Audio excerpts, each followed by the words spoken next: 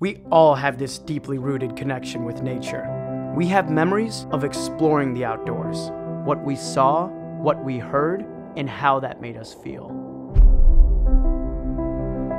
This exists in all of us. But somewhere along the way, I think our curiosity for nature was replaced.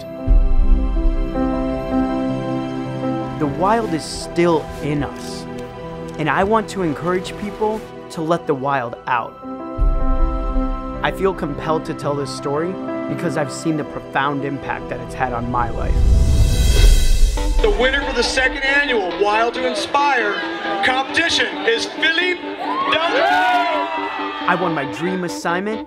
I got to go to Africa and document some of the most magnificent creatures in the world. My first sighting in the wild. Check these guys out.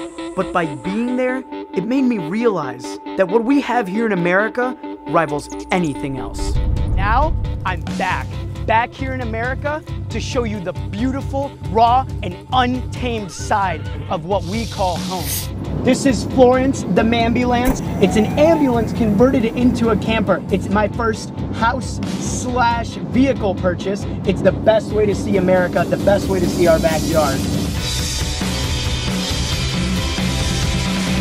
Oh, I nailed it! No video does it justice. You gotta get out here yourself.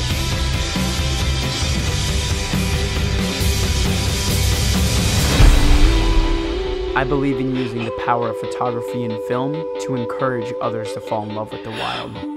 Because if they can fall in love with it, then they fight to protect it. How wild is that?